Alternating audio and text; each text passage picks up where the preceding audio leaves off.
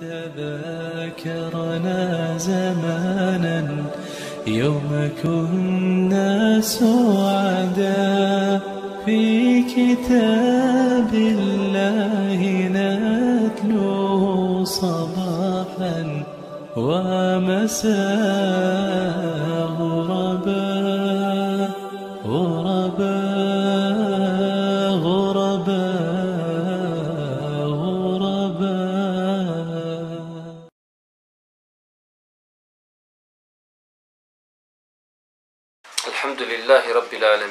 والصلاة والسلام على أشرف الأنبياء والمرسلين نبينا محمد وعلى آله وصحبه أجمعين Zaista svaka zavala pripada Allahu te baraka wa ta'ala, salavat i selam na Allahu poslanika, Allahu miljenika Muhammeda alihi salatu wa salam, njegovu porodcu, časni asabi i sve one koji slijedi na putu istini do sudnjega dana. Braću moja draga, ovo je naše prvo druženje u ovom, inša Allah, četverodnevnom nekom seminaru ili ne znam nija kako da ga nazovimo, koji će, inšala trajati od ikindije do akšama četiri dana. U svakom danu ćemo pokušati da uzmemo po dva neka školska časa. Imaš ti časova, bit će neka pauza, neki obrok i tako dalje. Znači, ja sam dogovorio s ovom braćom da ovaj četvorodnevni susret, inšala, iskoristimo govoreći o islamskom bontonu. Svakako da je mnogo toga što bi čovjek musliman trebao da uči. I ovdje u Sarajevu pogotovo ima dosta ti neki naučnih dersova iz akide, iz fikha. Pa sam ja odlučio i kada sam se upoznao s ovom knjigom koju ćemo mi uzeti kao neki osnov i temelj, svim sam dao za zadatak da pokušam da je nekome prenesem odnosno ovo znanje koje u njoj ima da je prenesem zato što me je zaista knjiga zadivila kako i na koji način jednostavno obrađuje islamski bonton ili takozvani edeb. Knjigu je napisao čovjek koji se zove Fuad Abdulaziz Šerhub, a obrađuje sljedeće teme. Odnos vjernika prema Kur'anu, to je zvonton ponašanja prema Kur'anu, adabi i propisi nazivanja selama, također adabi i ponašanje prilikom susreta sa bratom muslimanom, adabi posjete bratu muslimanu, adabi ugošćavanja gosta, Znači kako čovjek da ugosti goste. Adabi sjela, kako čovjek musliman treba da se ponaša kada sjed, sjedi i sjeli sa drugim ljudima.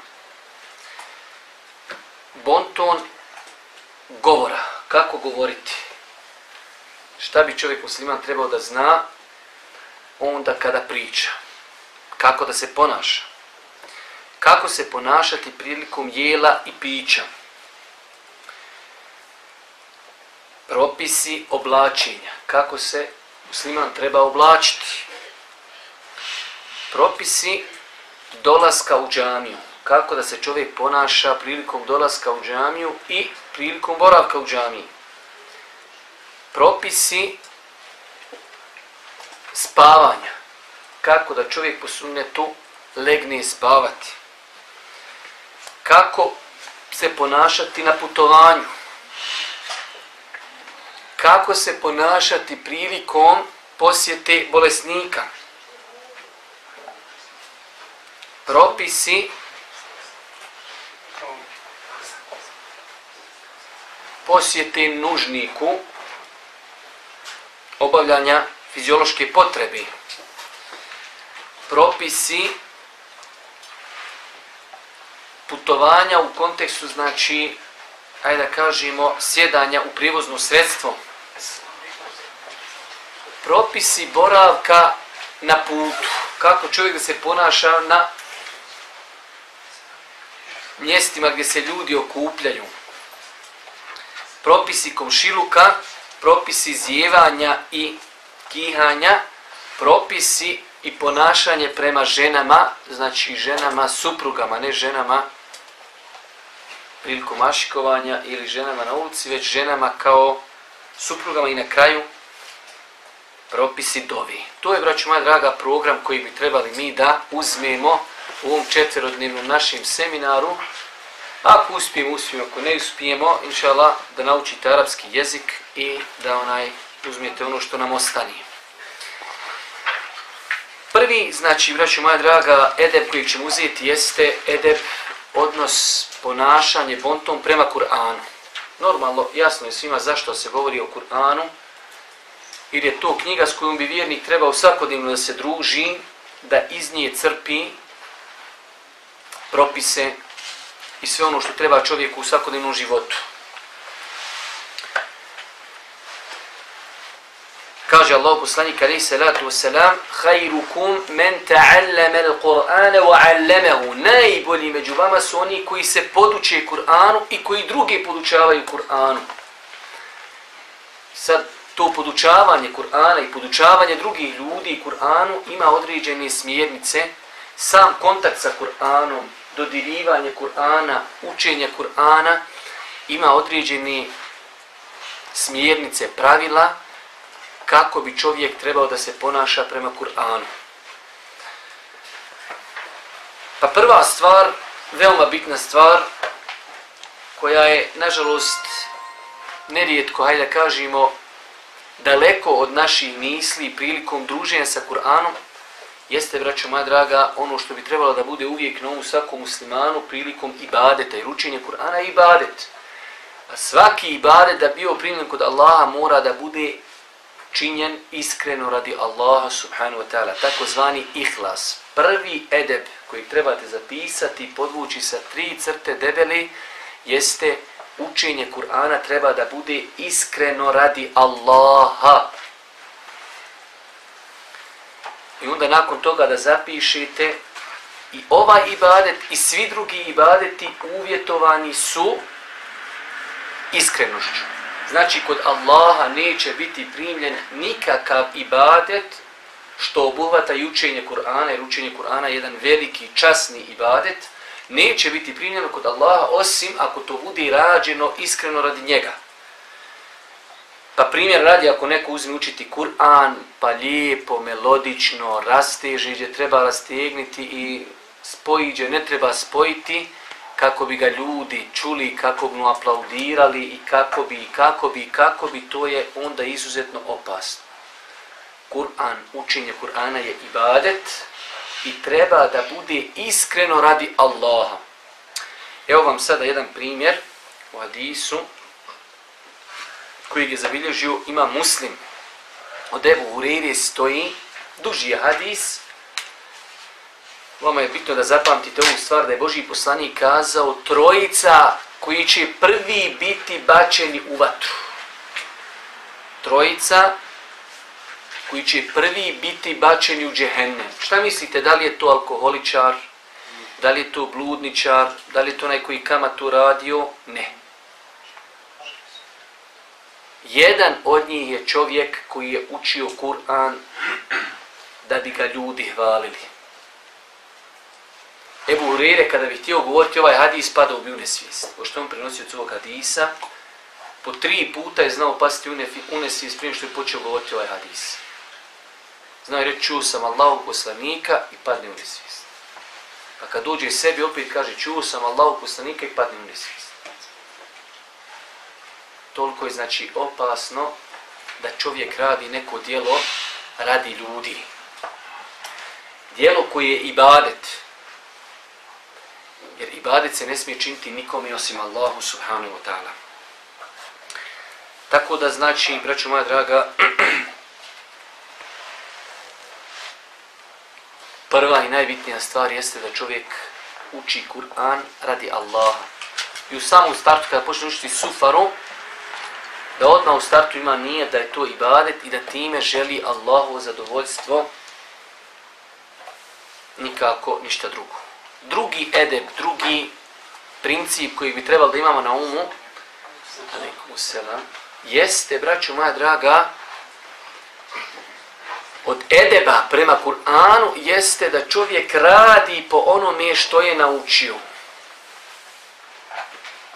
Normalno tu nam sad doći nam kao treća stvar, ili četvrta, tu nas vodi u praksu da govorimo o razmišljanju o Kur'anu. Jer da bi praktikovao ono što si naučio, moraš to razumjeti. Normalno ova knjiga je pisana za arapsko podnevlje, pa je tako ovaj šeji i naveo ovo kao drugu stvar, ali za nas strance treba prije toga navesti jednu treću stvar, a to je razumijevanje. Čovjek treba, znači, narošto našim pridjelima, da čita prijevod Kur'ana kako bi razumio šta je čitao, nakon toga da bi praktikovao ono što je razumio. Jer Kur'an, braću moja draga, u osnovi je životni put čovjeka vjernika, objavljen je da bi se živjelo po njemu. Objavljen je da bi se živjelo po njemu. Imate jedan poznati hadis koji je izbližujem Buharija, da Allah poslanik alihi salatu wasalam jedne noći je vidio jedan san, pa je u tom snu vidio mnoge ljude kako se kažnjavaju razno raznim kaznama, pa jednog od ljudi koji je vidio jeste i čovjek koji Allah Đerašanu podario da je spoznao Kur'an, pa nije radio po Kur'anu, radio je suprotno tome. Tako da, znači, braću moja draga, čovjek treba da pazi, da ne bude od onih ljudi na koji će se odnositi ovakvi hadisi, prijetnje, da čovjek nešto zna i ne radi po tome. Znači, Kur'an treba da se izučaje, rekli smo prvenstveno, radi Allahovog zadovoljstva, nakon toga da bi se po tome živjelo i da bi se po tome radilo. Ne treba navoditi primjere današnjeg vremena, šta sve i kako se ponašaju ljudi koji su hafizi Allahovi subhanu wa ta'ala knjigi. Nakon toga, to je ta taška koja je trebala po nama da bude na trećem mjestu, a to je od edeba prema Kur'anu jeste razmišljanje o značenjima Kur'ana. Znači imamo prvo iskrenost da se uči radi Allaha, nakon toga praksa i razmišljanje o kur'anskim porukama. Takozvani na arapskom tedebur. Da čovjek se druži sa Kur'anom i da razmišlja o Kur'anu. I vi znate da sam ja već u zadnjih nekoliko godina održavao dosta predavanja kako u BKC-u, tako i izvan BKC-a u, koji smo, u kojima smo tretirali tu tematiku Kur'an, tedebur, razmišljanje, življenje sa Kur'anom, kur'anske staze sreći. Znači da čovjek uzme sebi za pravac da živi sa Kur'anom i da razmišlja sa, o Kur'anu i da time odgaja svoju dušu. Zato, braćo moja draga, treba da znate i da naučite i to je jedna velika korist da samo čitanje Kur'ana, harfova, samo po sebi nije ciljano. Ciljano je znanje koje je u Kur'anu. Znanje koje će čovjek naučiti, to je ciljano. Ono što će odgojiti ljudsku dušu. Zato je Allah poslanik ali se ratu selam znao cijelu noć provoditi, cijelu noć ponavljajući jedan ajet, jedan ajet. Odgajajući takvu dušu. Jer zamisli kada imaš jedan ajet i cijelu noć ga ponavljaš cijelu noć sa njim odgajaš svoju dušu. I mnogi drugi kuranski e, hadisi Allah poslanika ali se ratu selam nam potvrđuju ovu činjicu da je to bio životni pravac Allahog poslanika da je svoju dušu odgajao Kur'anom razmišljajući o kuranskim porukama. Ima to na vjerodostan hadize Boži poslanik alih salatu wasalam, kazao osjedile su me sura Hud i njene sestre. Osjedile se ga toliko o njima razmišljao. Allah Želšanu kaže u Kur'anu, u suri Nisa, 82. majetu, Efe la yetedebbarun el Kur'an, a zašto oni ne razmišljaju o Kur'anu? Također, od stvari koje je lijepo i trebao bi čovjek da ih zna vezano za Kur'an, jeste nama je naređeno i to je obaveza, čak čovjek može, braću, da uradi dijelo ne do Allah da ponizi Kur'an ili da se odnosi prema njemu kako ne treba, da učini veliki grije pa do te mjere možda da počini nešto što ga izvede iz vjeri. Znači, kod nas Kur'an i mushaf u kojim je napisan Kur'an, znači Kur'an je ono što je u mushafu, a mushaf je knjiga. E sada, mi muslimani vjerujemo da je obaveza muslimanima da poštuju Kur'an, da poštuju mushaf. Ali isto tako, ne do te mjere da čovjek ne može u autu sjediti i učiti Kur'an. Zato ćete vidjeti da naši ljudi su u jednom momentu otišli previše u pogledu čuvanja Kur'ana. Pa ćete vidjeti čovjeka, on pazi na Kur'an, odnosno na mushaf, pa ga lijepo zamota, u čisti peškir, ostavi, ne smije ga niko bukvalno dodirnuti. Nije to cilj. To jest lijep pokazatelj da je to poštovanje mushafa, to je ekstra. Ali u osnovi to je knjiga koja treba da se čita, da se živi po njoj. Zato kažemo, e, od adaba, od propisa vezanih za Kur'an, naš odnos prema Kur'anu jeste da je dozvoljeno učiti Kur'an u, e, znači stojeći, sjedeći, pa čak i ležeći, pa čak i na jahalici ili prevoznom sredstvu. Znači, dozvoljeno učiti Kur'an stojeći, sjedeći, na ležeći, na prevoznom sredstvu, znači na jahalici ili u autu u tramvaju, u avionu, u autobusu, u autu, ležeći u krevetu, sjedeći na stolici, stojeći, čekajući autobus. Znači, kod nas imate to neko uvjeđenje da je to sve nešto kao nešto nedoliči. Nima smijeti čovjek čeka e, na autobuskoj stanci autobus, umjesto da ganja i broji zjale, da gubi bespotrebno vrijeme da uči kul huvallahu ahad Allahu samad lam yalid wa lam yulad wa lam yakul lahu kufuwan ahad. Misliš dok čekaš tramvaj 10 minuta koliko puta možeš proučiti suru kul huvallahu za svaki harf seva kul huvallahu ahad Allahu samad lam yalid wa lam yulad wa lam yakul lahu kufuwan ahad. Isto tako zikr. Alhamdulillah, alhamdulillah, zikriš, čekaš autobus i zikriš. Hvala Allah što me Allah počestio sam muslimam. Hvala Allah da razumijem da je ovo vrijeme koji čekam tramvaj da ću biti pitan za njega, pa ga ja koristim u zikru. Alhamdulillah, alhamdulillah. Allah Đeršanuhu, kada govori mu'minima, kaže Alladhine yadhkuruna Allahe qiyamen wa qu'uden wa ala junubihim. Oni, kaže, Allaha spominju. Ovdje kad se kaže spominju Allaha, to obuhvata, spominju ga i zikrom i spominju ga učeći Kur'an. Kaže qiyamen, stojeći, qu'uden, sjedići, wa ala junubihim, na bokovima ležeći. Kur'an nam to potvrđuje da nema smetnje da čovjek iskoristi vrijeme.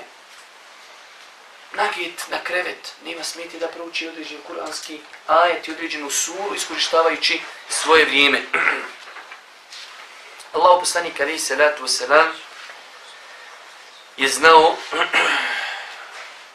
nagijeti se u krilo a iši radi ta'ala ona je bila znači u mjesečnici, periodu mjesečnici u hajzu i učio bi tako Kur'an ležeći, znači nageo bi glavu na išino krilo, još ona bila u mjesečnici, u hajzu, njegova glava, ajde kažemo toliko blizu onaj nje, ali on je onaj toga nije sprečavalo da uči Kur'an. Hadis o tome je svakako vjerodostojen. Bilježi ga Buharija i Muslim. Ovdje nam dolazi jedno ono veliko pitanje, mi smo ga prošle godine u školi Islama obrađivali, ali možemo se kratko samo svrnuti.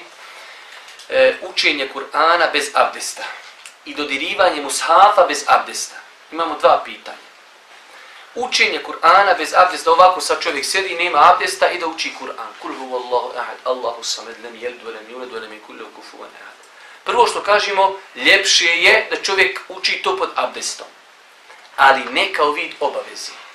Tako da kada si negdje na autobuskoj stanici, u autobusu, u avionu, na času ili ovdje, ili nemaš abdesta, nema smeti da učiš Kur'an. Bez abdesta nema nikakvih smetnji. Inšala, za svaki proučeni harf ćeš imat seba. E sada dolazimo do onog drugog pitanja, to je dodirivanje mushafa bez abdesta.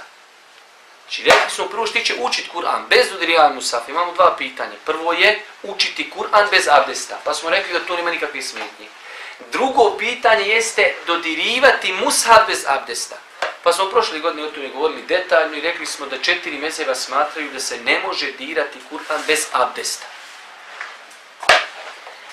Ali smo isto tako rekli da ne postoje jasni argumenti koji to potvrđuju. Da, ono je najbolje da čovjek ne dodiruje musaf osim pod abdestom.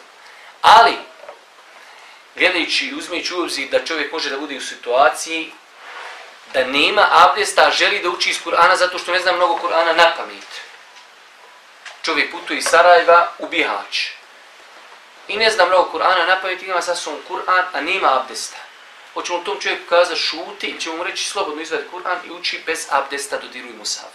Inšallah, biznila, ispravno je da nema smetnje da čovjek uči Kur'an bez abdesta i da dodiruje Musav bez abdesta. Ali ako može da uzme abdest, bolje je.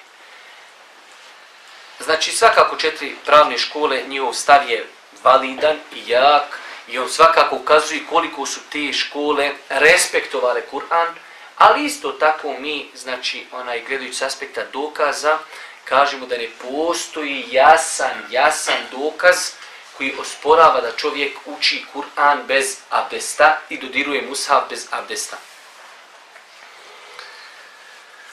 Znači, rekli smo i malo prije ono kad smo rekli da čovjek može da uči Kur'an bez onaj dodirivanja abdesta, bez abdesta, znači to što čovjek nema abdesta ne smeta nikako onaj, jer imate hadis vjerodosan Boži poslanika, ali se wasalam, kaže Allahu poslanik ali salatu wasalam podučavao bi nas Kur'anu sve u svim situacijama osim kada bi bio džunup. Znači, u svim situacijama, kad nema abdesta, čovjek put, ide putem u auto, ovako, onako, onaj, inšala bizla, nema smetnje, pa makar i nema abdest da uči Kur'an, a ako ima potreba, ako ima potreba i da dodirne musaf bez abdesta. Normalno ovdje vas ja napominjem, može se sutra desiti da od nekog efendije, od nekog učenog čovjeka čujete stav da kaže haram je dirati musaf bez abdesta. Čovjek treba da kaže da mi znamo da postoji to mišljenje, mi to mišljenje poštujemo svakako, onaj, ali isto tako onaj, znači postoji i drugi stav. Ovo vam zašto govorim, kako se ne bi sutra iznenadili, ako vas neko malo natrlja vam uši da kaže čekaj kako sa to onaj, uglavnom znači ima dosta islamskih učenjaka koji su dopustili da čovjek uči Kur'an i dodiruje Musa bez abdesta. Ali su opet rekli, onaj ko može abdestiti svakako da je, inšala biznila, bolji. Imate sad ovdje jedno pitanje, znaju ga ljudi ovako ponekad poslet vezuju se, jer mi sad želimo obrati mnoga pitanja koja se vezuju za učenje Kur'ana, sve nešto što bi se u svakodnevnom životu moglo desiti, da jednostavno zaokružiš sve to, da sutra znaš kako ćeš se ponašati prema Kur'anu. Nerijetko se u Levi postavlja pitanje šta je bolje, učiti Kur'an na pamet ili učiti Kur'an gledajući iz mushafa.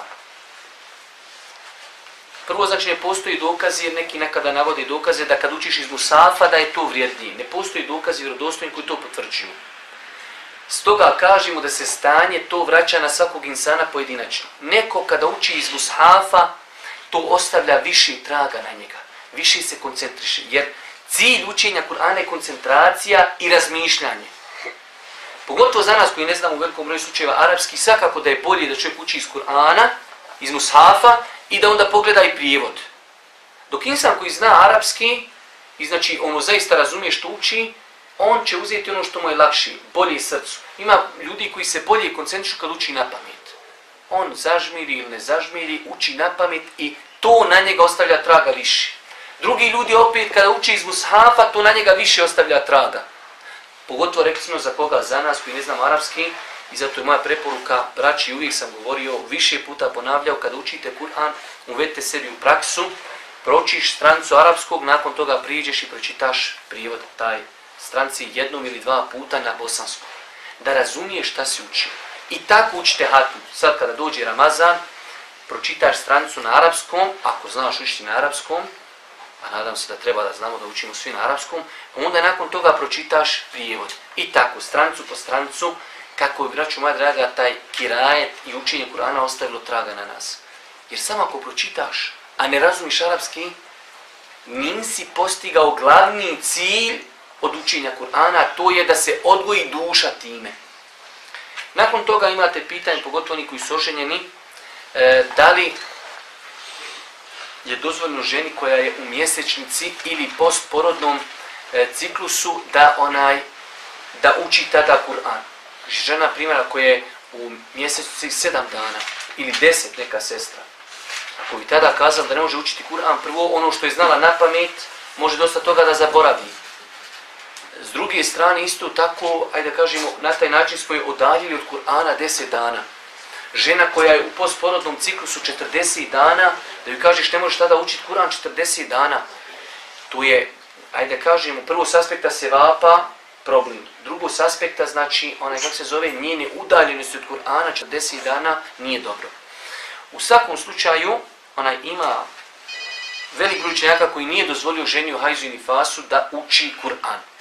Hadisi na tu temu, ako ih negdje inađete, nisu vjerodostojni koji zabranjuju ženi u hajzu i nifasu da uči Kur'an. Zato mi kažemo da inšallah bi iznillahi žena nema smetnji da uči Kur'an u periodu mjesečnice i postporodnog ciklusa, naročito ako zatim postoji potreba. Kakva potreba? Žena hoće možda da djecu svoju podučava Kur'anu. Ili možda žena radi u školi podučavanja Kur'ana. Ili žena je već nahivzala 10 ili 15 džuziva, boji se da će zaboraviti. U tim situacijama, ako Bog da nema nikakve smetnje da žena uči Kur'an, znači ako želi da svoju djecu podučava Kur'anu, pa ona uči, oni ponavljaju za njom. Ili radi u školi Kur'ana, pa podučaje sestre. Ili žena je već nahivzala 5 ili 10 džuzijeva u periodu 40 dana ili 7 dana mjesečice, boji se da će zaboraviti. Tada, inšallah biznila, nema smetnje da žena uči Kur'an u tom periodu. Također, lijepo je da čovjek kada želi čist, učiti Kur'an da očisti usta mi svakom zube, da očisti mi svakom u današnje vrijeme, oni koji to ne mogu u smislu mi svak, onaj nema smetnje da se to uradi, e, znači pastom za zube i četkicom. Imate vjerodosan hadis u Buhari i Muslimu, da Allah poslanik alaihi salatu wasalam kada bi ustajao na noćni namaz, prvo što bi uradio, očistio bi usta mi svakom. كان النبي عليه الصلاة والسلام إذا قام من الليل يشوس فاه بالسواك الله بساني kad bi ustao na noćni namaz prvo bi očistio usta zato što će znači klanjati noćni namaz zato što će u namazu učiti Kur'an razgovarati sa svojim gospodarom također korist samo jedna iako nije nešto sad hajde da kažemo ali eto lijepo je da znate ono što je kod nas u narodu poznato velik broj e, karija nakon kirajta kaže sadaka Allahu l'azim. Za istinu je rekao uzvišeni Allah. Znači prvo da znate to nigdje nije preneseno da je Allah poslanik to ikada rekao. Znači nikada Allah poslanik nije rekao nakon učenja Kur'ana sadaka Allahu l'azim istinu je rekao uzvišeni Allah u osnovi braćo moja draga Allahov govor Kur'an je sad istina. I nema potrebe da čovjek nakon Kur'ana što uči, kaže sad istinu reka uzvišeni Allah. Ali isto tako, znači ako bi to čovjek nekada rekao, neobavezno uvijek, obavezno izgovaranje uvijek, najbliže što se zato može kazati da je novotarija. Kad god uči Kur'an, završi sadaka Allahu l'azim. Uvijek. Ako ne rekneš, ko da si širk počinio. To je belaj. To najbliže šta se može zato kazati da je novotarija. Ali da to čovjek uradi jednom, dva put, inšallah bi iznila, inšallah bi iznila, ne bi, da trebao, ne bi trebao da bude veliki neki problem. Isto tako, lijepo je, braću moja draga, da čovjek kada uči Kur'an, da ga uči razgovjetno, da ne žuri, da ne požuruje. وَرَتِّلِ الْقُرْآنَ تَرْتِيلًا Allah Jeršanu kaže u Kur'anu, obraćaju se Božije poslaniko, to i svima nama naredba, وَرَتِّلِ الْقُرْآنَ تَرْتِيلًا Tertil je lagano učenje Kur'ana. I ovdje vidimo kolika je greška oni naši ljudi koji klanjaju teravih namaz, koji znači sav njegov, sa, sva njegova briga je što prije završiti, što prije završiti namaz. Propise znači da se namaz uči lagano, počeo sad i uljepšanim glasom, razgovjetno, Alhamdulillahi Rabbil Alamin. Hvala Allahu gospodaru svjetova. To čovjek kaže osjećajući, razmišljajući, a ne samo ono bukvalno, rafalno, Alhamdulillah Znači to je po meni veoma blizu ismijavanja i izigravanja sa vjerom. Definitivno to ljudi ne radi s tim ciljem. Ali kada bi pogledali u stvarnost toga, onda vidjeli da je tu ismijavanje s vjerom. Zašto neko od nas kada ode kod nekog direktora, kada ode kod nekog eh, znači uglednika, da li sa njim tako razgovara brzo? Ili sa njim razgovara lijepo, gospodine i svinja im se mogli nešto kazati, razgovjetno. A kada razgovaramo sa Allahom u namazu, kada citiramo njegov govor, onda znači nerijetko o tim značenjima ne razmišljamo. Nije, braću moja draga, samo pažnja prema Kur'an da ga zamotaš u peški ili osješ, to je lijepo, to je pokazatelj da ti o tom Kur'anu imaš lijepo mišljenje, o musafu da ga čuvaš. Ali mnogo preći, ne za, nemoj zamotati Kur'an u peškir, musaf u peškir, ali kada ga budeš učio, uči ga lagahno, razgovjetno, lijepim glasom i tako dalje. Također, jerhamu kelno. Znači ovdje dolazimo isto do, do onog e, govora kojeg smo malo prije spomenuli, to je da imate ljudi u Ramazanu pogotovo, pa ono zada sebi, idem da proučim hatmu. I svaki dan uči, uči samo da dadne hatmu u Ramazanu. To je lijepo, svakako lijepo. Ali, braćo moja draga, rekli smo, nije osnovni cilj Kur'ana samo prijeći preko Kur'ana izgovoriti harfove. Osnovni cilj je razmišljati, odgoj duši. Za mene je bolje da čovjek kaže, proučio sam 30 stranica u Ramazanu samo. Svaki dan po stranicu. Ali sam stajao na stranici sat vremena. Razmišljao, preispitivao svoj život, odgajao svoju dušu, ja mu rekao, za mene si ti bolji od onoga koji, koji prešao cijeli Kur'an. Jer ti si postigao cilj koji se traži od tebe, od koji duši. Onaj možda on ima sad tamo koliko u Kur'anu ima harfu, on toliko ima sevapa. Ali on, on nije postigao ono što od njega Kur'an hoće, da živi po Kur'anu. Tebe će onih 30 stranica koji si proučio, ostaće ti možda, što bi rekao naš narod do groba, ostaće do, s tobom cijeli život, da se sjetiš tamo kuranski ajet, Ramazan i razmišljaš o uzvišenosti Allaha, o određenim propisima, o zabrani nepravdi, o dobročinstvu prema roditeljima, da čitaš kuranski ajet o dobročinstvu roditeljima, pa da staniš, pa da se pridrkaš, gdje sam ja na osnovu ovog ajeta? Dragi Allahu, koliko griješim, da li će mi Allah oprostiti? Pa ponoviš taj, pa razmišljaš o njemu, pa kaže Allah Đeršanu, i Allah, gospodar ti naređuje da njega obožaješ i da prema roditeljima svojima dobročinstvo činiš. Pa se kažeš, da li ja činim dobročinstvo? Da li ja kažem roditeljima, uh, dovi za svoje roditelje i tako, da se preispi, da odgajaš svoju dušu. Pa tamo kuranski ajet, doista Allah sve vidi i sve čuje. Pa ti sam se kažeš, da li ja vjerujem u to? Da Allah sve vidi, sve čuje. Da li ja praktično pokazujem da Allah sve vidi i sve čuje? Da li ja varam ljude kada zatvorim žaluzine, nema niko? Da li ja njih varam, jesam listi u društvu i kada sam sam ili imam dva adresa i tako da. Da se prist... To ti je bolji, da se prispitaš, da proučiš stranicu za jedan dan, nego kažeš proučio sam 30 stranica, a ništa ne znaš. Zato znači, ovo je velika pouka, pogotovo sad nam dolazi mjesec Ramazan, da znači razmišljam onome što učinu. Također, pohvalno je, braću moja draga, i o tome nam govori onaj, mnogi argumenti da čovjek u granicama ljudske mogućnosti ne pretjerujući uljepša glas učeći Kur'an. Prirodno. Ne sa čovjek da se napinje, ne da se čovjek znači znoji zbog toga, ne da čovjek, ne. Normalno. Alhamdulillahi rabbil alamin. To je najljepši kiraj da se čovjek uči bez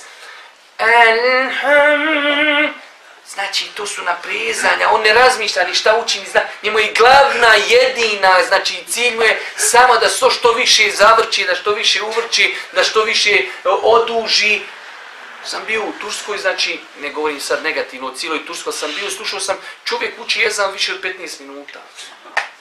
On čovječe kad rekne ešhedu en la ilaha illallah pa rastegne ga ti tri puta dineš on i dalje guli pa otkud ti otkle izlazi čovjek kolika ti pluća čovječe ku ajku.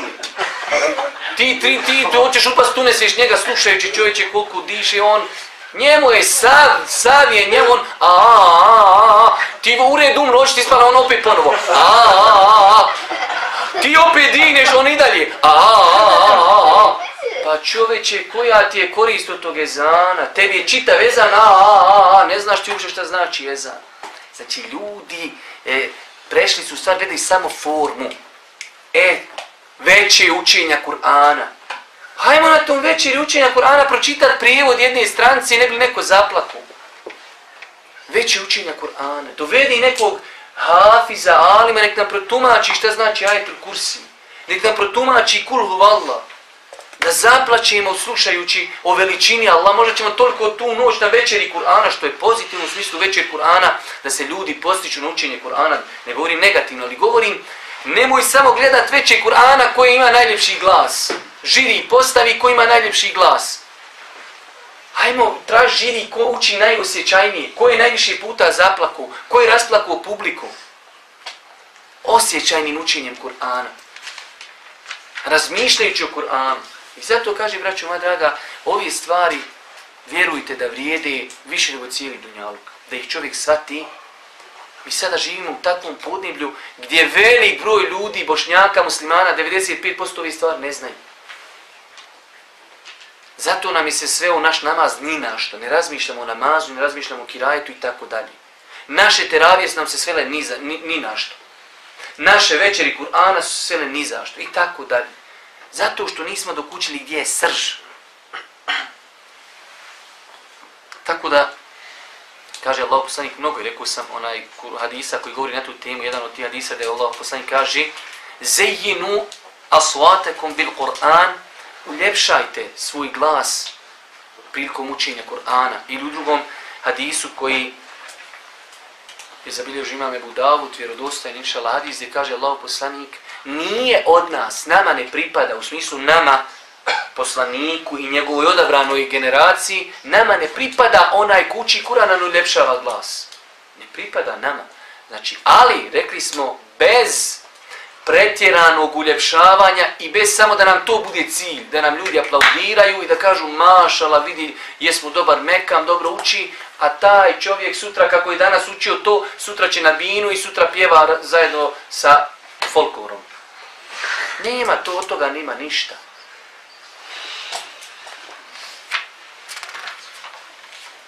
Također, od stvari koji su, da kažemo, pohvalne, da ih čovjek zna. I nekad ljudi postavi pitanje, evo, meni, gdje je samo, da li je bilo, Hele, ne se, ali znači imate nekad ljudi koji imaju uvjeđenje da ako zaplaćeš učeći Kur'an, da je to nešto problematično. Nije problematično, to je čak pohvalno, da čovjek učeći Kur'an zaplaći. Blago se onom srcu koji plaće kad uči Kur'an. Blago se onom srcu koji plaće kada uči Kur'an. Znači, od adaba, od ljepoti, od potrebnih stvari jeste da čovjek plaće kada uči Kur'an. Allah Žešanu na više mjesta u Kur'anu kori one koji uče Kur'an i ne plaću. A da ne govorimo onaj o životu Božijeg poslanika i o njegovoj praksi, kako je Allah poslanik učijući Kur'an, kako je plakao, kako je plakao Ebu Bekr, kako je plakao Omer. Ebu Bekr, kada je Allah poslanik, kada smo nastupile smrtne muke, pa kaže a iši njegovoj čerci, naredi Ebu Bekru da ljude predvodi u namazu. A Iša jedino što kaže, Allahu poslaniće, Ebu Bekr je čovjek osjetljiv, on ako uđe, kaže u mihrab, toliko on plaće kad uči Kur'an, ništa ljudi neće čuti šta uči. To je zato Ebu Bekr najbolji čovjek ovog ummeta. Kaže, Ebu Bekr ako uđe u mihrab, jer mi njega znamo, mi smo njegova djeca, mi u našoj kući znamo kako on živi. Kaže, Ebu Bekr toliko plaće, kaže on kad uđe u mihrab, niko neće čuti ništa šta uči od njegovog plakanja. Da ne govorimo o poslaniku i njegovim noćnim namazima kada bi se natopila njegova brada plakajući to u noćnom namazu. Tako da znači, braćo moja draga, onaj nima smetnje i čak šta više, onaj pohvalno je da čovjek prilikom Kur'an, učenja Kur'ana onaj plače i došli su predaje, znači vjerodostojne od Božih poslanika e, u kojima se obećaju velike nagrade ljudima koji budu plakali iz straha prema Allahu subhanahu wa ta'ala.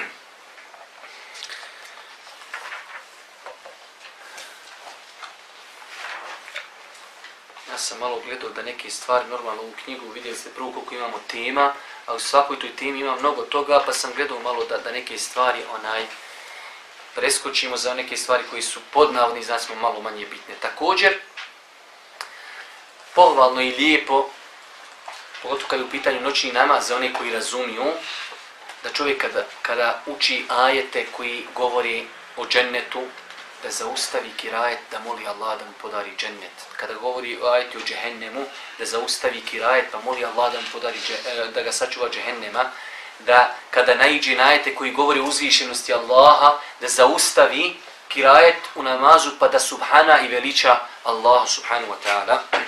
Kao što je došlo u poznatom hadisu koji je zabilježio imam muslim od Huzefi, da on u Božji poslanik počeo da uči Bekaru, onaj pa je proučio Bekaru, ali Imran i En Nisa sve na jednom rekiatu, 105 stranica samo na jednom rekiatu. I ne samo to, pa sam Huzefe kaže, onaj i nikada ne bi prolazio pored ajeta gdje se Allah veliča, a da ne bi zaustavio kirajet svoj pa bi veličao Allah subhanahu wa ta'ala. I tako dalje. Također, pohvalno je da čovjek koji uči Kur'an sigurno će naići na, na ajete u kojima piše seđda. Pohvalno je, neobavezno, ali je pohvalno da čovjek, znači na mjestima gdje onaj propisan čini sežde, da ostavi Kur'an i da onaj učini seždu.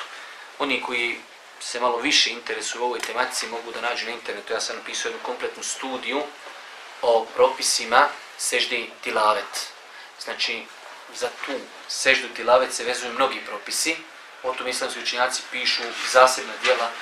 Ja sam nekad prije neki 4-5 godina možda napisao jednu zasebnu studiju, možda od nekih 10 stranica u Wordu, u kojoj sam govorio samo o tome. Ali generalno znači da znate da čovjek kada naiđe na taj na to mjesto u Koranu gdje piše sa strani seđda, kad prouči taj ajet, pohvalno je da ostavi Kur'an i da učini seđdu. Ima znači mnogo propisa vezani za to, da li će ustati, da li neće, da li će donijeti tekbir, da li neće, e, da li je obavezno se okrenuti prema kibli ili neće, da li je obavezno da bude pod abdestom ili nije. Znači mnogo propisa se vezuje za tu tilavet seždu. Evo sada čovjek nije pod abdestom i uči Kur'an i najđe na ajet u kojem se učinila sežda, treba činiti tilavet sežda. Da li se mora okrenuti evo sad ovdje prema kibli, da li mora biti pod abdestom, da li mora biti pokrivenih avreta, kao što je to namaz, da li ne mora, da li žena kukući uči Kur'an, da li mora staviti mahramu ili ne mora, i tako dalje. Ima znači dosta pitanja, onaj, pa eto oni koji, koji budu, inša Allah, imali malo veće ambicije, mogu to da pogledaju. Također, imate, braću moja draga, jedno pitanje i time ćemo onaj završiti ovo naše prvo druženje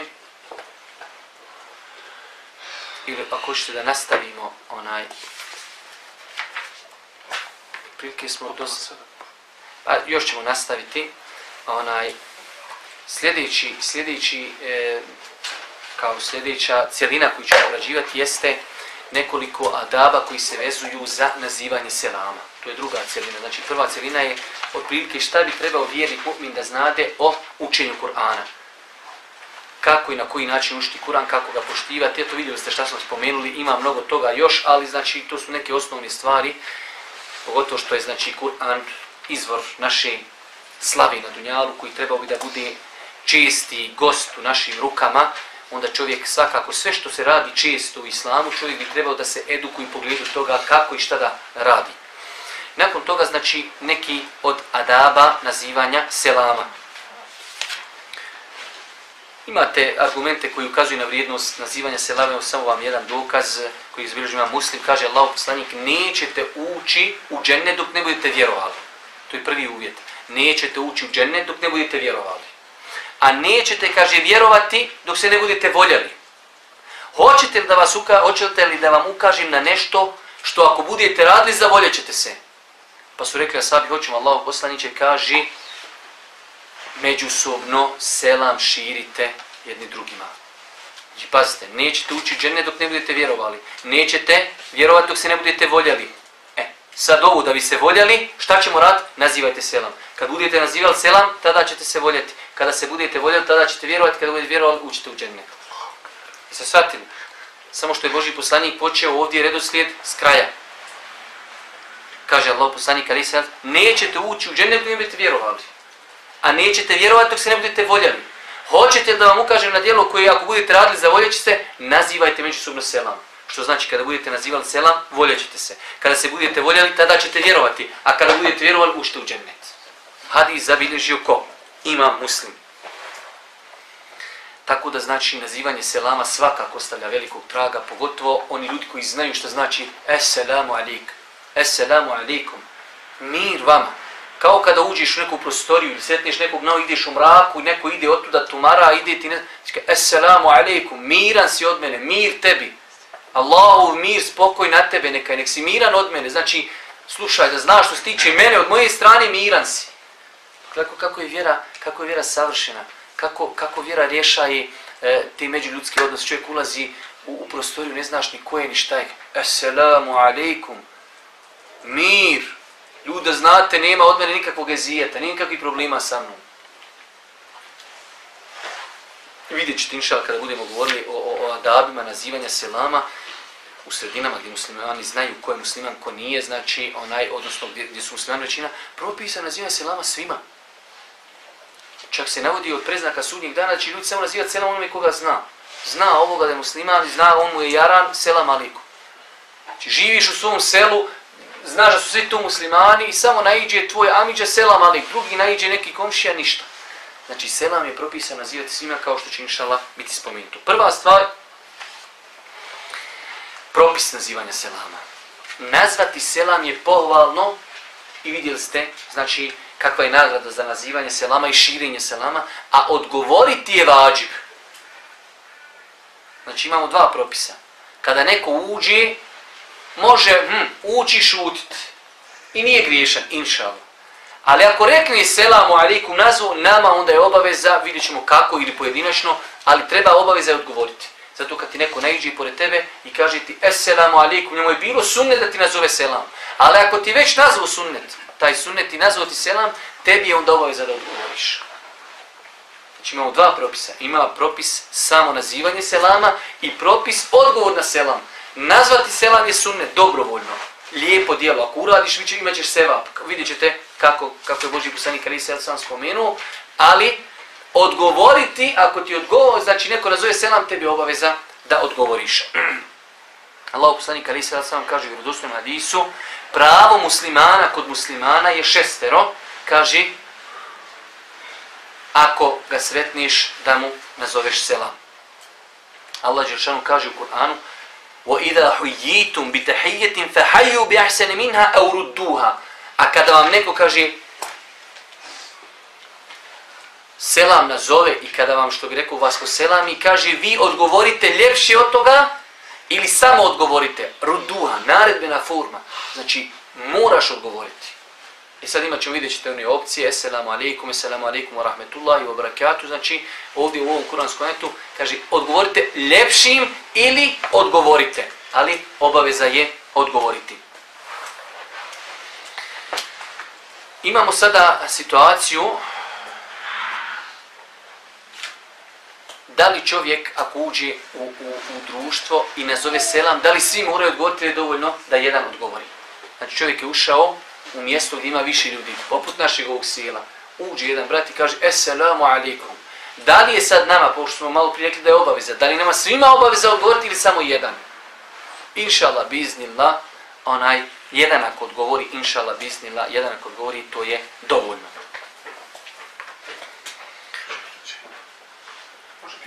Reci. U vezi uvođenja ovako među skupinu, šta je pohvalnije da, da se nazove selam ili samo sjedno? Kažu, Možda može poremetiti. slušao sam to od ovih svojih profesora kod koji smo mi učili znanje, da kažu da je najprioritetnije da čovjek uđe, ne baš glasno da uđe i ono Esselamu alaikum, da prekine cijeli, znači neki tok nečega. Pa da svi onda okrinu se prema njemu i pogledaju u njega i da mu svi onda odgovaraju ili tako. Ne, kaže propisan da sjedne i da tiho za one ljude koji su tu kod njega Esselamu alaikum. Znači da čovjek došao i sjedne gore i tio, znači za trojicu četvorcu ljudi koji su tu, tiho kaže selamu alaikum i sjedni. Ali ne on uđe i selamu alaikum. I sad cijeli BKC se okreni i tamo gleda u njega ko je došao. Znači, onaj, inšala bizna, to je naj, najbliže i naj, najlepši da čovjek znači uđe i lagano ispoštovo je da nikog nije uznemiravao, a ispoštovo je da je nazvao sunnet. znači da je nazvao selam, da ispoštuje sunnet, onaj, a isto tako nikog nije nije prekinuo govor. Imate ljudi, znači, čovjek nešto, da kažemo, elaborira, govori, povezuje određene misli, ti ulaziš, eselamu alaikum, ljudi se okreću, neko ti odgovori, neko ne odgovori, neko će mu reći, ej, daj, šuti, sjedi, prekide nas. I znači, može zaista dovesti do, do hajde kažemo, onda imate, da li u pitanju školski čas, da li u pitanju neko ovako druženje, uđe jedan, eselamu alaikum, e, djeco, ajmo počete pisati, rekao je Allah poslanik drugi, eselamu alaikum, I tako, deset njih kad uđi, deset puta kad te prekine, ti više ne znaš šta diktiraš ljudima. Tako da Allah najbolje zna, najpreći kad čovjek uđe, da znači lagano sjedne i ljudima koji su tu negdje, ono, poluglasno, selam alaikum, i to je to. Reci paša. Ja sam htio da vas pitam u vezi edeba prema Kur'anu, samo da ne zaboravim. Aha. Da li je dozvoljeno memorisati Kur'an? Ne mislim da ima ikakve smetnje. S tim da čovjek to ne misli da je da je to neki poseban ibadet, znači nešto... Ne, ne radi ibadeta, nego... Ne, ne, znači iz, iz, iz nekog poštovanja prema Kur'anu, kao što je zamotati ga u krpu ili nešto, inšala bizna, ne bi trebalo da bude ikakve smetnje. E, idemo, znači... Ši, može li ovo tilavet, to na minderu? Šta na minderu? Ne, tilavet, kad smo rekli učenje Kur'ana da bude tek... Just pisu, just pisu, tilavet da se... A na, mi- ima, znači, samo otište na Google, na Mimberu je objavljeno, na Mimberu ima u arhivi. Ali dovoljno je samo da ukucate na Google, da ukucaš propisi sežde tilavet, pezić, izbaćate. To sigurno onaj, vjeruj da sam se, hajde kažem, ono, dijelimično potrudio i da ima onaj dosta čak savremenih pitanja koja su obrađena u toj onaj studiji. Tako da smatram da nije loše da čovjek musliman pročita tu studiju. Nakon toga, e, način nazivanja selama, najbolji način kao ono full, potpun je Assalamu alaikum wa rahmetullahi wa barakatuh. To je znači najvrijedniji i najpotpuniji. Nakon toga imamo malo niži stepen Assalamu alaikum wa rahmetullah i imamo samo Assalamu alaikum. Čovjek ako kaže Assalamu alaikum, to je inšala dovoljno. Bolje i malo od toga selamu alaikum wa rahmetullah i imate treće selamu alaikum wa rahmetullah wa barakatuh. Imate onaj poznati hadis koji je zabilježio imam Tirmidhi, čiji Albani za njega kaže da je vjerodostojan, da je sahih, da je Allah poslanik alaih salatu wasalam prošao pored Božih poslanika alaih salatu wasalam, a Božji poslanik je sjedio pa je rekao Esselamu alaikum, pa je rekao Božji poslanik Ašara hasena, deset dobrih dijela. Pa je prošao drugi čovjek pa je rekao Esselamu alaikum wa rahmetullah, kaže 20. Pa je prošao treći, kaže, pa je rekao Božijem poslaniku Esselamu alaikum wa rahmetullahi wa barakatuh, kaže 30 sevapa. Tako znači, ha, kad god nas doješ Esselamu alaikum, 20 si onaj kikso. Ali, inšala, hajde i 10 da čovjek zaradi, ali eto, znači, onaj, lijepo je da čovjek zna da je najpotpuniji način selama, da čovjek kaže Esselamu alaikum wa rahmetullahi wa barakatuh. Nakon toga, e, imate određene hadise u kojima je spomenuto da je Allah poslanik alaihi salatu selam znao spominjati selamiti tri puta. Pa onda su učenjaci pokušali, da kažemo da to usmjeri, kako je. Ne možeš ti svaki put i nelogično bilo ti sad uzmeš da, da je od suneta svaki put čovjek selam alikum, selam alikum, selam alikum. Nešto tu ne uklapa se. U smislu treba ispravno usmjeriti svaki hadis od Božih poslanika. Ima u određenim hadisima da je spomenuto Boži poslanik nazivao selam tri puta. Ali kažu islamski učenjaci da se to odnosi ako je mnogo ljudi, pa čovjek uđe pa ga ljudi neće, assalamu alaikum, assalamu alaikum, assalamu alaikum, znači da se to odnosi gdje je, gdje je ušao si na skup gdje ima sto ljudi, pa se okreneš na assalamu alaikum, assalamu alaikum, selam alaikum, kako ste? A čovjeka jednog zove, selam alaikum, selam alaikum, selam alaikum, sunete tri put. To je možda bukvalno svatanje hadisa, onaj, e, jer da je to bila praksa, to bi onda bilo prenešeno da je to tako poslanik radio svaki put. I zato se čuvajte toga, čuvajte toga se, danas nam jedan ših dolazio, ako znate onu knjigu Islam, a ne vehabizam, jedan veliki ših imao je gore na ovom izlaganju, na finu jedno svoje izlaganje, pa smo danas sa njim sjedili i spominje nam to, e, ne ovo, ali isto pravilo. Kaže, imate kod određenih učenjaka stotinu primjera i u života Božih poslanika stotinu primjera blagosti. I samo jednu, jedan primjer ili dva gdje je bio, hajde da kažemo, malo ljut.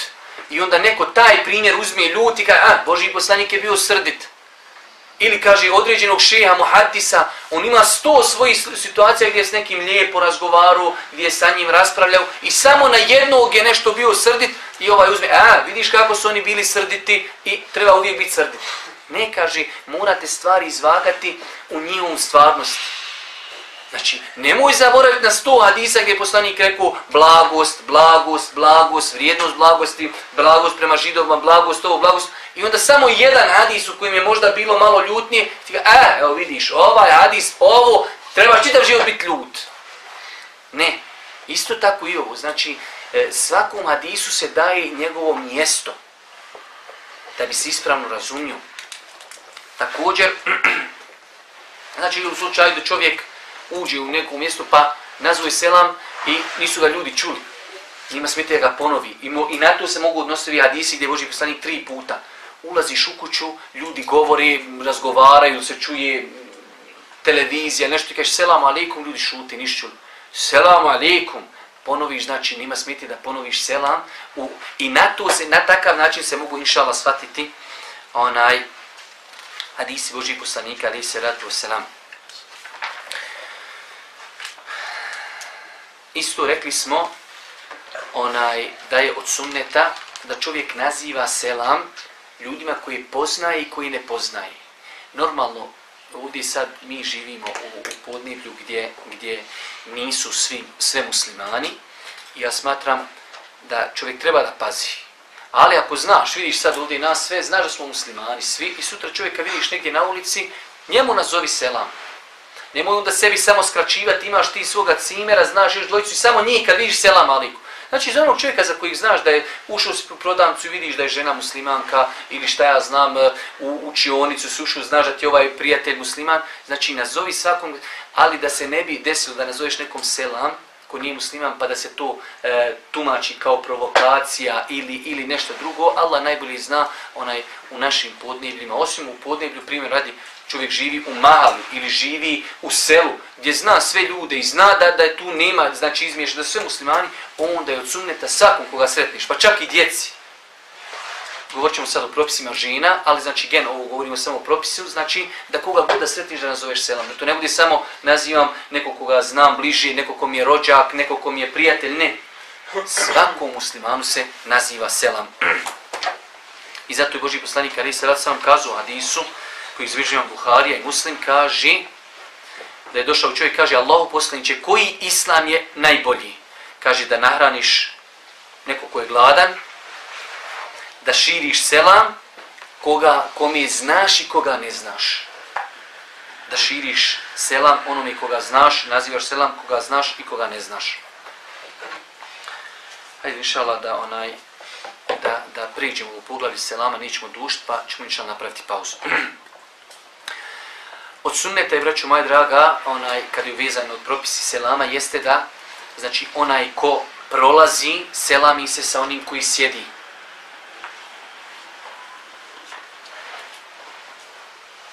Da onaj, znači, ko, ajde da kažemo, jaha, jahalicu ili današnje vrijeme je to auto, ako prolazi i pored pješaka ili pored nekog ko sjedi, on je taj koji treba da nazove selam. Znači, imamo tri kategorije ljudi. Imamo čovjeka koji sjedi, imamo čovjeka koji pješač, imamo čovjeka koji jaha, da li jaha u to vrijeme i današnje vrijeme je to auto ili neko drugo prevozno sredstvo.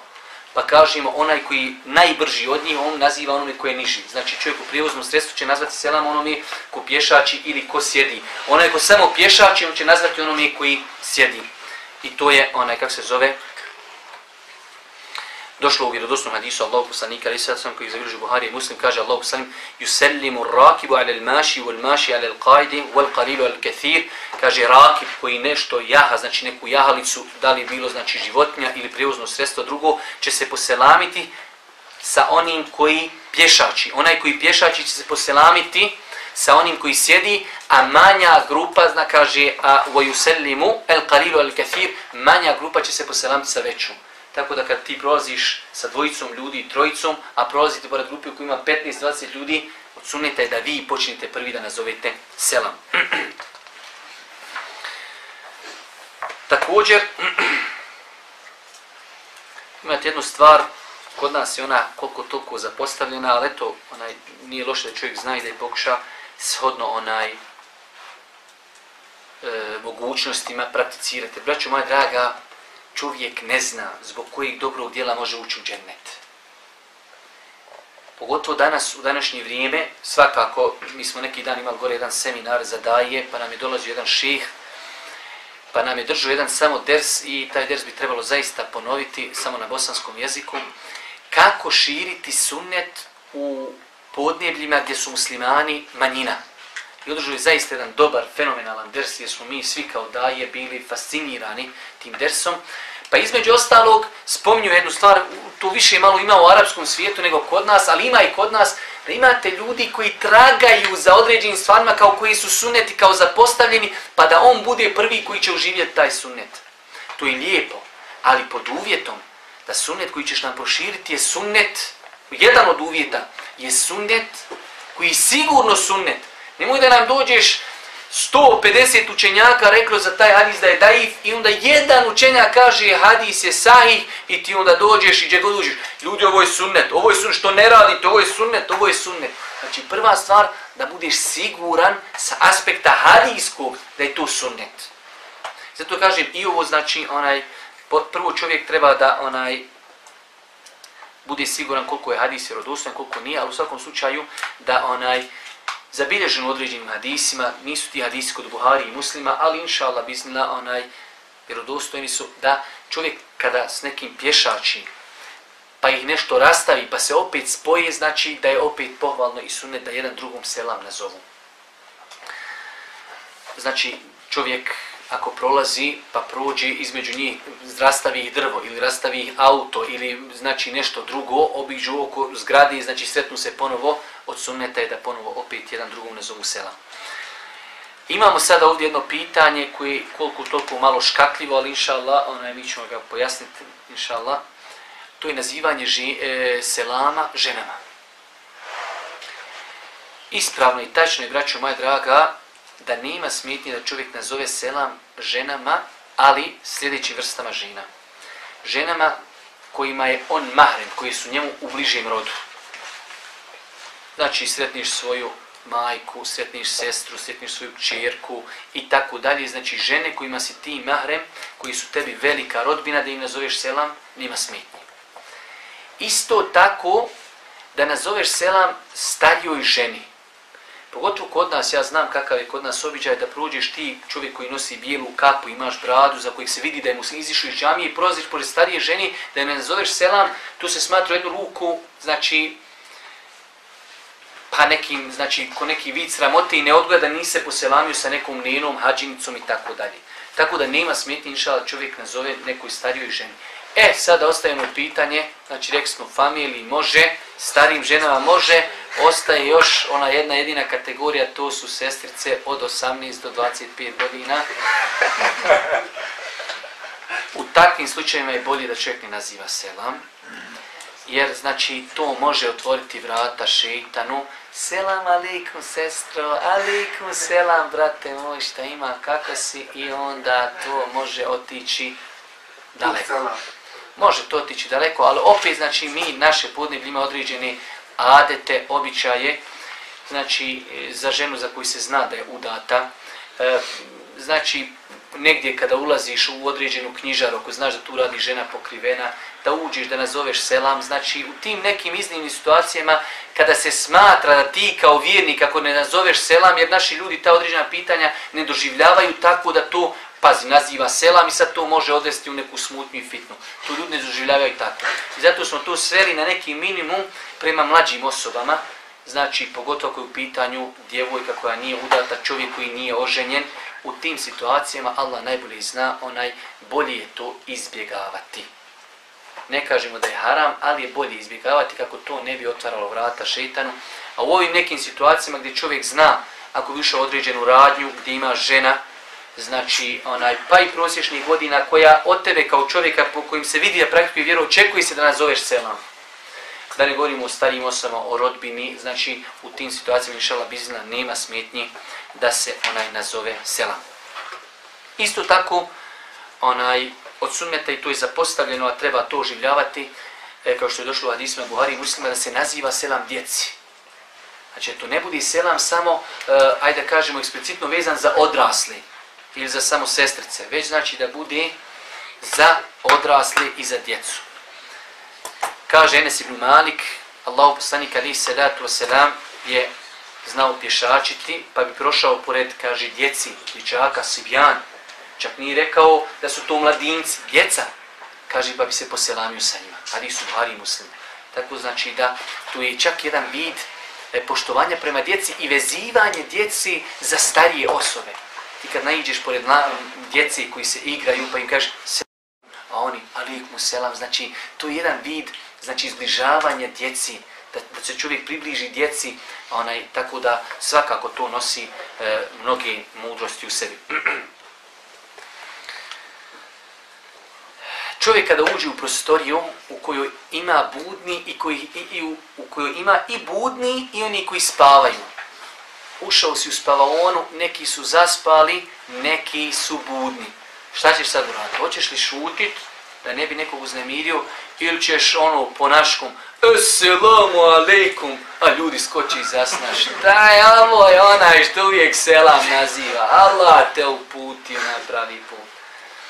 Znači, nije propisano da čovjek uznemirava nekog selamom. Čovjek ako uđe u prostoriju u kojoj ima ljudi koji spavaju i ljudi, znači, to je braćo pojašnjeno sve hadisima, precizira, znači, ovo su sve situacije, ovaj širi odlika ove knjige, zvorio sam kazati, skoro da ništa ne spominje osim sa, dva, sa vjerodostojnim dokazima. Pa je prenešeno, znači, da onaj, u vjerodostojnim hadisima,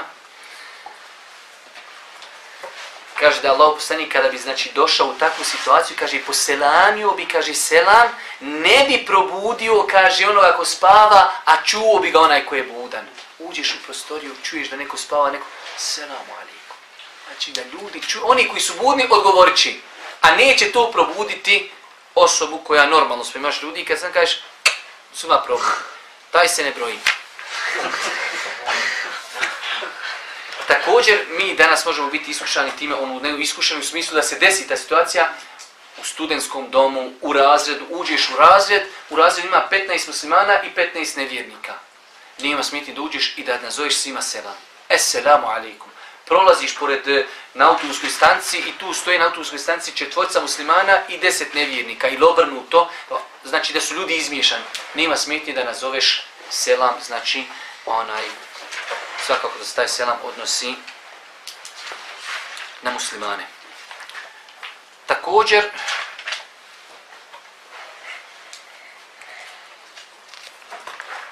imate pitanja, ali to neka pitanja možemo i preskočiti, bojim se da nekada onaj...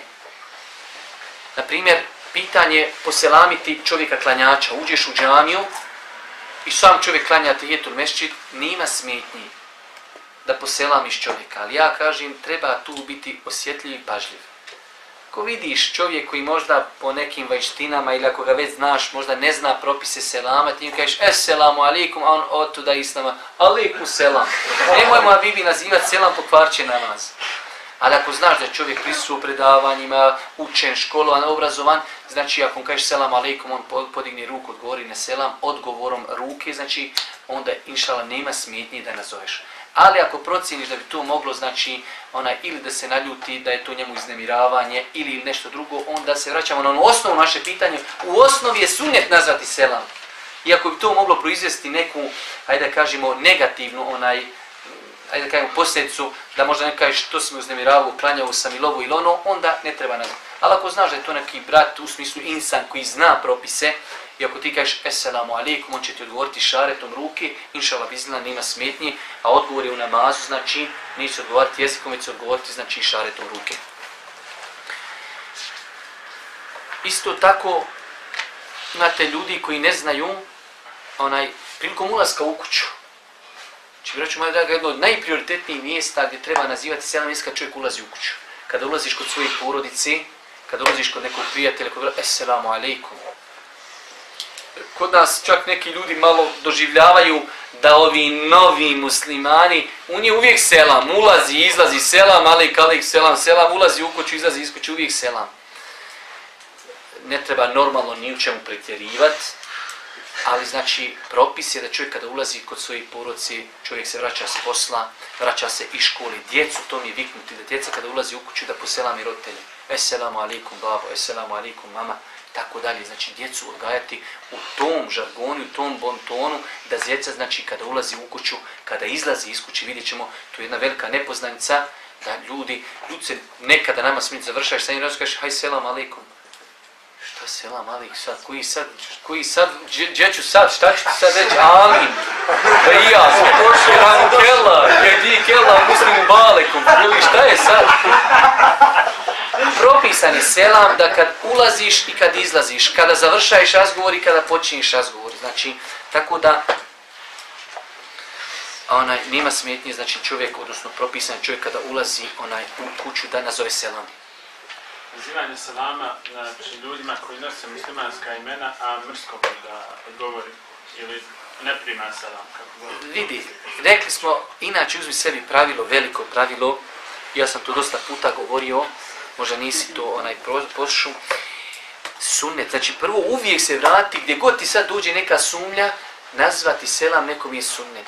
Nemoj sebi dozvoliti da zbog određenog sunneta e, neko pomisli ga provociraš. Imaš ljudi, on i da danas dan nosi petokraku titinu, ali mu je samo u srcu.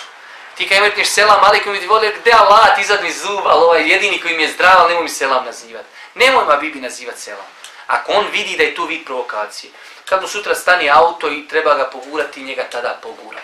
Kad trebamo otvoriti vrata u haustoru, ti mu otvori vrata. I čini mu dobročinstvo dok on ne vidi da ti nisi, provoka, nisi provokator. Ali ako vidiš jednom selam, alaikum selam, nemojmo ga Habibi nazivati jer vidiš da taj selam postiže kontraefekat, razumiješ. Pa onaj, tako da, jer zašto? U osnovi fala Allah pa je to sunnet. I zato sam ja govorio i kad odeš u džamiju gdje se ne zna za dizanje ruku i ne zna se za amin, gdje god možeš ostaviti sunnet, kako bi zbližio ljude, ostavi sunnet. Zato rekli smo sve ove opcije u osnovi sunnet nazvati selam. U osnovi. I na osnovu, na, na o tome se, inšala sve, onaj, sva pitanja ta nagrad, onaj, donagrađuju. Također,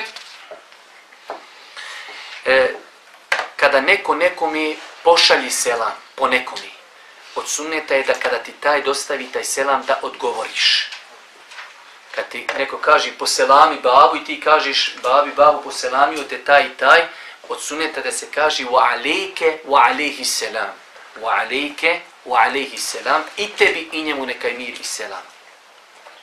Imate o tome hadise onaj koji nam potvrđuju spomenutu činjenicu.